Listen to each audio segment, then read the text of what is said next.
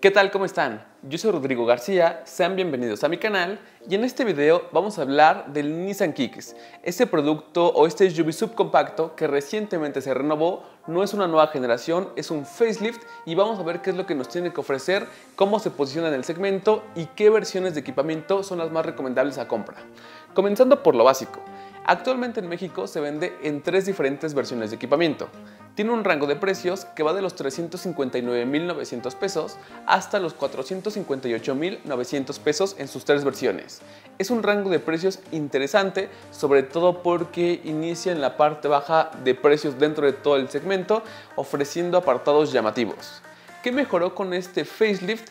Eh, cambiaron algunos detalles estéticos como faros, como fascias, eh, al interior también un nuevo diseño general, un diseño más propositivo, más juvenil, mejoraron ligeramente el apartado del equipamiento, pero lo más importante que mejoró es en el apartado de la seguridad sobre todo porque como lo hemos visto con los productos de Nissan, tanto en el Versa como en el Sentra hasta la fecha y ahora en esta Kicks, agregaron asistentes preventivos de accidentes muy importantes, mientras más seguridad tengamos en un vehículo es mejor, pero hay que ver si lo justifica con el rango de precios y yo te lo voy a explicar a detalle en este video.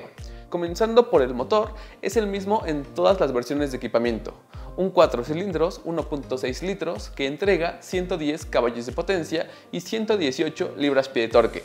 Es una mecánica confiable, una mecánica duradera que tiene un bajo costo de mantenimiento, un bajo costo de reparación y que es importante y toma relevancia con el paso del tiempo. Se acopla a dos transmisiones. Únicamente en la primera versión, que es la Advance, se puede acoplar a una transmisión manual de 5 velocidades. En todas las demás versiones solamente es una automática CVT que tiene un buen desempeño. Este conjunto mecánico ofrece un buen manejo, buena potencia, comodidad y buen desempeño para rebases, incorporaciones a vías rápidas y salidas eventuales a carretera. Es una mecánica que se comporta bastante bien, que nosotros en Motoren ya la hemos tenido a prueba hace casi dos años y que nos dio además de un buen desempeño, buenos consumos de combustible. No son los mejores del segmento, no, pero son competitivos que podrán superar los 12, 12.5 km por litro dependiendo zona geográfica y hábitos de manejo. Pasando a un apartado muy importante en el segmento de los SUV subcompactos, vamos a desglosar qué es lo que nos ofrece cada versión de equipamiento. En la primera versión, que es la Advance, encontramos un equipamiento básico entre comillas porque es bastante competitivo para algunas personas. Esto va subiendo entre versiones, pero es competitivo por el rango de precios y frente a sus rivales. Encontrarás por el exterior tecnología de iluminación halógena. En asistentes de estacionamiento tiene sensores auditivos para la transmisión manual y sensores auditivos y cámara de reversa para la versión CBT. Al interior, una pantalla táctil de 7 pulgadas que es compatible con Android Auto y Apple CarPlay, aire acondicionado manual, esto lo encontramos en todas las primeras versiones del segmento, algunos puertos de carga, un volante multifunciones, control de velocidad crucero, apertura y encendido por botón, ya no es con llave o al llavazo, y las vestiduras están forradas en tela. Pasando a la siguiente versión de equipamiento, que es la Exclusive, el equipamiento mejora. Mantiene la tecnología de iluminación halógena en los faros principales, y los sensores auditivos de estacionamiento, pero además agrega un monitoreo periférico con detección de objetos, lo que beneficiará maniobras de estacionamiento en lugares cerraditos, en calles pequeñas o en tu propia casa si es que no eres muy hábil para el estacionado que puede pasarle a muchas personas. Además al interior ya tiene un panel de instrumentos parcialmente digital que es una pantalla de 7 pulgadas con más información de la computadora de viaje y del sistema de infoentretenimiento que suma más para tener más visualización de toda la información que queramos ver. La pantalla central crece una pulgadita más, ahora es de 8 pulgadas, igual compatible con Android Auto, Apple CarPlay, tiene una mejor interfaz y es ligeramente más rápida. El aire acondicionado ya es automático, agrega más puertos de carga y las vestiduras están forradas en piel sintética. Es un nivel de equipamiento que mejora, sí, y que si lo vemos por el rango de precios es ligeramente superior a otros productos del segmento. Y en la versión más equipada que es la Platinum, no hay una evolución muy importante en el nivel de equipamiento funcional porque principalmente mejora esta versión en el apartado de la seguridad como lo veremos más adelante. Pero bueno, para mencionarlo, agrega tecnología de iluminación LED y las luces son automáticas, un punto que es seguridad y equipamiento, pero hasta la versión más equipada. Pasando a la habitabilidad, esta Nissan Kicks es un producto competitivo. Si bien no es el vehículo o el SUV subcompacto más grande del segmento, es bastante interesante el espacio para la segunda fila de asientos y la cajuela. Es un SUV subcompacto en el cual sí podrán viajar hasta tres adultos por la comodidad que te pueden dar los asientos, que nosotros lo hemos comprobado en diferentes vehículos de Nissan, son bastante cómodos. ¿A qué beneficia esto? En viajes largos y también que al menos aquí en la Ciudad de México o en algunas carreteras que siempre hay bloqueos o accidentes y pasamos horas sentados, esto va a ser muy favorable para tus pasajeros. Y en la cajuela podrán entrar sin ningún problema tres o cuatro maletas de buen tamaño y tiene algunas amenidades. Un apartado en el que mejoraron ligeramente es en el de la calidad sin sobresalir. Se sigue quedando en la parte promedio del segmento, superada por otros rivales, pero como en todos los SUVs subcompactos, en esta Nissan Kicks encontramos plásticos rígidos en la mayoría del vehículo, que no está mal, es lo que encontramos en los demás vehículos, en la mayoría, no en todos.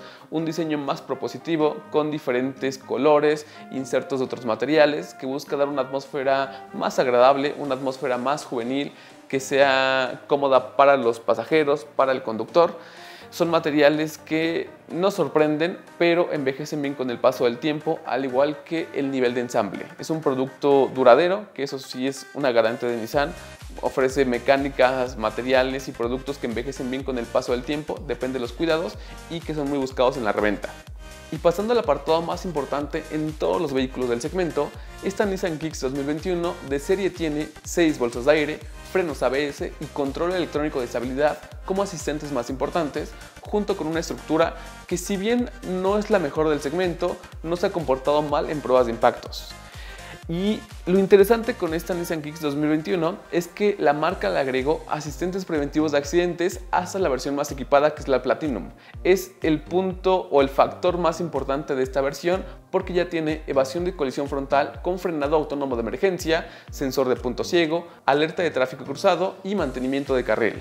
Puntos que suman a la seguridad, sí, que ya lo vimos en el Centra, que lo vimos en el Versa, que son versiones que se han vendido bien por ese apartado de la seguridad. Es importante y un punto que siempre debemos considerar que las marcas busquen mejorar en ese apartado, ofrecer más asistentes. De hecho, Nissan es una de las pocas marcas que lo está aplicando o que está agregando esto en sus diferentes segmentos de productos, pero hay que considerar su rango de precios.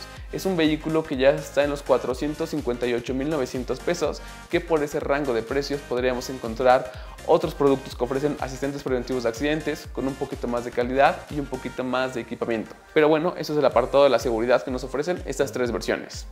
Entonces, ahora que ya conocimos qué es lo que nos ofrecen sus diferentes versiones de equipamiento y su rango de precios, ¿cuáles son las opciones más recomendables a compra? Sin duda alguna, las primeras dos versiones de equipamiento, tanto la Advance como la Exclusive, son muy interesantes. ¿Por qué? Porque las dos tienen el mismo tren motriz, las dos tienen el apartado de la seguridad completo, que, es completo, ya lo vemos de esta manera, que está competitivo frente a sus rivales y porque el nivel de equipamiento es bastante competitivo por su rango de precios.